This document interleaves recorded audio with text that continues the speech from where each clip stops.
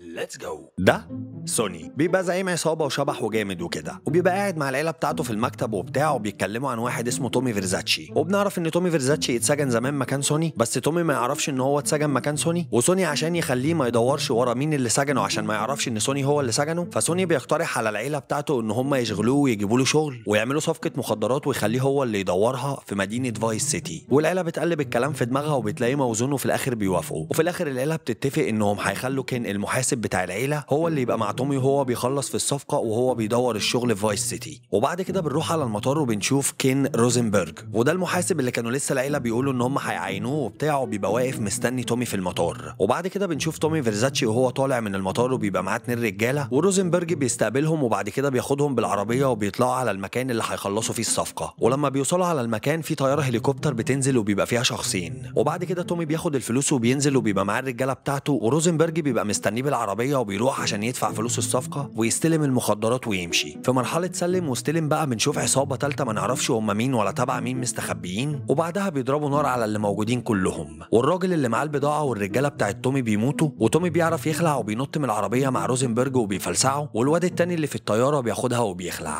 وبعد كده بنشوف روزنبرج مع تومي وهم واقفين تحت المكتب بتاع روزنبرج. وروزنبرج بيولول وهو في العربية عشان خايف الرؤساء بتوعه بقى يخلصوا عليه وبتاع بس تومي بيقول له ولا اطلع اتخمد بقى دلوقتي وبكرة الصبح أنا هاجي لك عشان نخلصوا الليلة دي ونهندلوها سوا. وروزنبرج بياخدها جري وبيطلع على فوق. وبعدها بتبدأ إن أنت تتحكم في تومي وبتركب العربية وبتروح عند العلامة ال pink اللي على الخريطة. ولما بتوصل عندها بتعرف إن ده فندق اسمه Ocean View وده اللي هتبات فيه. بتنزل من العربية وبتدخل جوه وبعد كده بتشوف علامة الشريط ده عشان لو عايز تعمل save أو كده. وعلامة تانية المفروض إن هي هتوديك على الغرفة بتاعتك. وبعد كده بتروح عند العلامة وبتطلع على الغرفة بتاعتك. وبعد كده تومي بيكلم سوني في التليفون وبيقول له إن العملية فشلت وفي عصابة ثالثه جت وخلصت الدنيا. فسوني بيقول له قال له راحت بقى يا اسطى خلاص. فقال له خلاص مين؟ يا إما تجيب البضاعة أو الفلوس يا إما هحط لك اللبوس. فقال له يا اسطى لا البوس ولا بتاع الدنيا دي على مسؤوليتي واديني كام يوم وأنا هرجع لك المخدرات والفلوس. وسوني بيقول له عشان العشرة والعيش والملح اللي كانوا بينا هسيبك كام يوم عشان تساوي حالك. وتومي بيقول له أمين وبعد كده بيقفل معاه. وبعد كده بتنزل من الغرفة وبتبدأ إن أنت تتحكم في تومي تاني وبتبدأ تظهر لك علامة ال على الخريطة. فبتطلع من الفندق وبتاخد عربية بعد كده بتتجه ناحية حرف ال وحرف ال ده المفروض إن هو المكتب بتاع روزنبرج. بتوصل هناك بتنزل من العربية وبعد كده بتدخل المكتب لروزنبرج. وتومي لما بيدخل بيتكلم معاه وبيقول له إن هم لازم يدوروا على اللي خد الفلوس والبضاعة ويقتلوهم.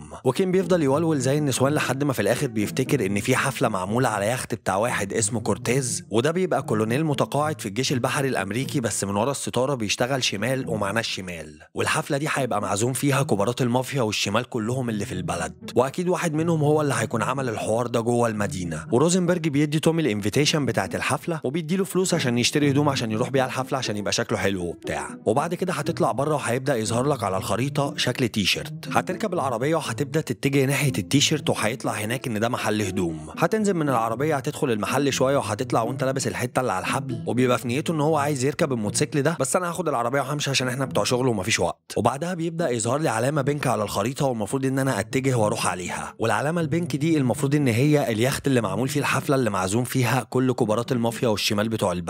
لما بوصل هناك بنزل من العربية بدخل على اليخت وأول ما تومي بيدخل إيه العسل ده؟ وبعدها كورتيز بيجي له وبيبقى عارف إن هو جاي تبع روزنبرج وبيتعرفوا على بعض وبتاع وفي الآخر تومي بيقول له على المشكلة اللي حصلت له وان هو بيدور على ال merchandise. وال merchandise دي معناها إن حاجة في الصفقة فاهم؟ فلوس مخدرات فاهم الحاجات دي. فكورتيز بيقول له يا اسطى قلبي عندك وبتاع بس زي ما أنت شايف إحنا في حفلة ومش هينفع نتكلم في الحاجات دي دلوقتي. وبيجيب له بنته مرسيدس بقى عشان إيه تدخله في أجواء الحفلة وتعرفوا على الناس وتقول له مين ده ومين ده وبتاع فاهم؟ الشويتين دول. ومرسيدس لما بتيجي بتلاقيه مز بتقفش فيه وبتاخده على جنب وبتقول له على أسامي الأشباح بقى اللي معاهم على اليخت. وبتقول له إن ده كنت وبيبقى صاحب ديسكو اسمه ماليبو. وبنعرف إن هو ورا الستارة شغال أوراني للأشباح. ودي كاندي وبتبقى نجمة ال X حرحر في البلوك وشغالة ورا الستارة تحت أمر الأشباح. وأفريو بيبقى عنده شركة مقاولات كبيرة وبيشتغل شمال وشغله كله شمال وفي رجالة هي اللي بتخلص له شغله وهو مش بيظهر في الصورة. وده جيزو بيبقى مغني روك مشهور وعنده باند مشهور اسمه Love Fist ومن ورا الستارة بيبقى شغال شمال وبيوزع مخدرات. وستيف بيبقى شغال مخرج أفلام X حرحر ساحر في البلوك ومن ورا الستارة بيبقى شغال نفس الشغلانة برضه مش محرج من نفسه. وأخيرا بيوصل ده وبيبقى اسمه ريكاردو دايز. ودايز ده بيبقى أكبر تاجر مخدرات في البلد. ومرسيدس لما بتشوف دايز بتخلع منه عشان هو رغاي وهي أصلا مش بتطيقه فبتطلب من تومي إنه يوصلها على مكان اسمه Pole Position Club.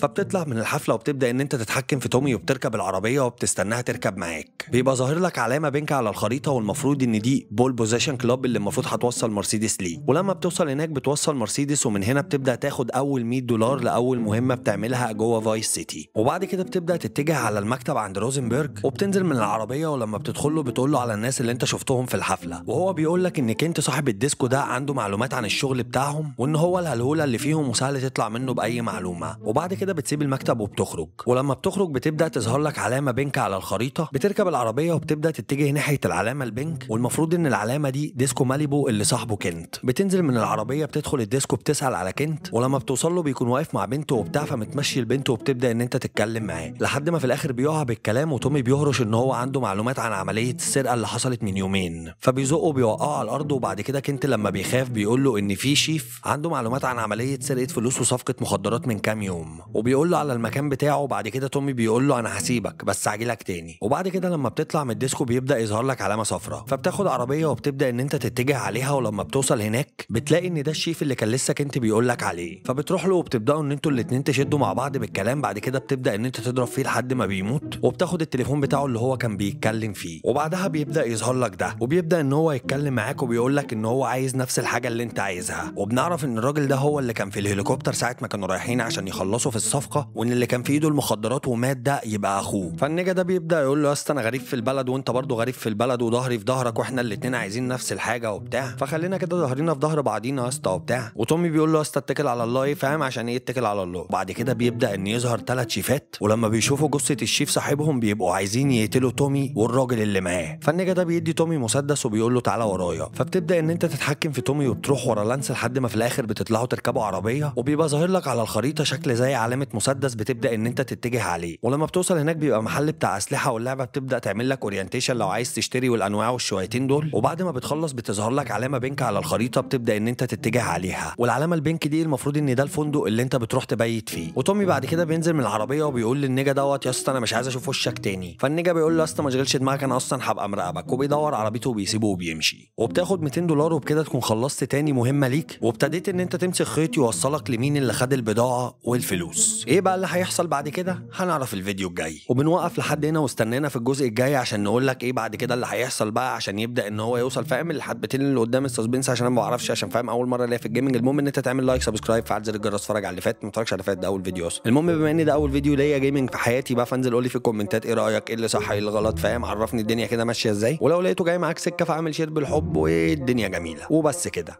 سلام.